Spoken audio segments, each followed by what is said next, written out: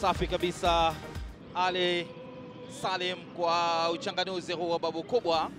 Ni kusema kweli kwamba leo vijana wa timu ya Posta Rangers wametuonesha maajabu hapa, wakati ambapo kocha wa timu ya Gor Mahia Manuel Vaz Pinto alikuwa anatarajia ushindi, alikuwa anatarajia alama tatu, na kocha mwenzake hapa Stanley Ukumbi leo alikuwa na bahati mbaya, kwa sababu katika dakika ya nne tu mchezaji wake Michael Apodo alionyeshwa kadi nyekundu na kuweza kutolewa uwanjani, lakini hadi mwisho wa siku ikawa kwamba timu ya Posta Rangers ndio wamenyakua ushindi. Hapa ndio kulikuwa kumetokea kosa lile, wakati mchezaji huyu Michael Apodo Uh, alipofanya madhambi na kusababisha kwamba yeye anaonyeshwa kadi ya kadi nyekundu baada ya kumpiga ngware mshambulizi wa timu ya Gor Mahia Tito Okelo. Kwa hivyo basi refari hakusita isipokuwa alimwonyesha kadi nyekundu. Isaac Memusi ambaye ndo alikuwa refari wa pambano hili, na makosa yalikuwa yanaendelea katika timu zote mbili, nafasi zilikuwa zinapatikana, lakini hawakuweza kufunga mabao kwa sababu hadi mwisho wa kipindi cha kwanza ilikuwa ni bao moja peke yake, na angalia jinsi ambavyo mchezaji huyu wa Gor Mahia Tito Kelo alivyokosea kufunga bao lile. Amekosea karibu mabao matatu ama manne ya kufunga kwa kichwa. Kwa hivyo bila shaka itabidi hapa uh, Manuel Vaz Pinto amwonyeshe jinsi ya kufunga mabao kwa kutumia kichwa. Wengi walikuwa wanafikiria kwamba katika pambano hili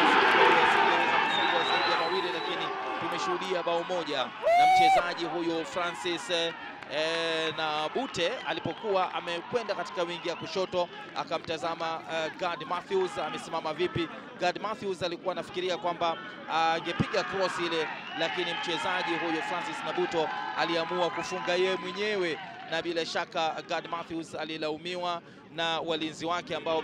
walimwambia kwamba ni muhimu kulinda lango lake dhidi ya kuangalia kwamba uh, yule mchezaji alikuwa anakwenda kupiga uh, cross yani uh, kumpatia pasi mchezaji mwenzake kuweza kufunga bao. Leo kusema kweli mambo yamekuwa ni magumu sana katika pambano hili, mbali na kwamba pia tuna mechi nyingine ambayo pia ilikuwa imechezwa dhidi ya Western Stima na Zukericho na kutoka sare bila kufungana katika uwanja wa Kericho Green. Hivyo basi dakika zile 45 zilipokamilika, ikawa kwamba tayari timu ya Posta Rangers inaongoza bao moja, lakini Samuel Onyango wa timu ya Gor Mahia alikuwa amejaribu. Uh, mchezaji mwingine pia Harun Shakava wa timu ya Gor Mahia alijaribu sana kujipatia timu yake bao, lakini mambo hayakuwa mazuri. Samuel Onyango pia alipopatiwa ule mpira alipiga ule mpira kwa kutumia mguu wake wa kushoto. Mchezaji huyu ambaye awali alikuwa anachezea timu ya Ulinzi Stars kabla hajajiunga na timu ya Gor Mahia, naye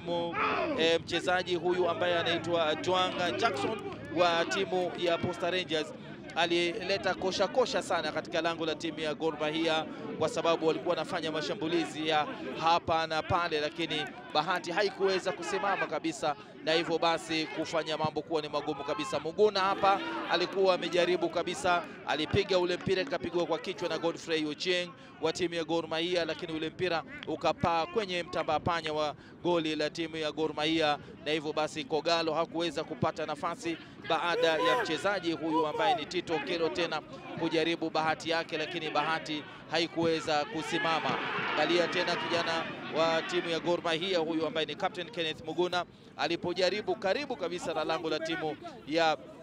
Posta Rangers alipopiga ule mpira lakini ukajaa nje, mbali na kwamba Kevin Opio mlinda lango huyu wa timu ya Posta Rangers alipiga mbizi na hakunyaka huo mpira. Hadi dakika tisini Gor Mahia hawana kitu na Posta Rangers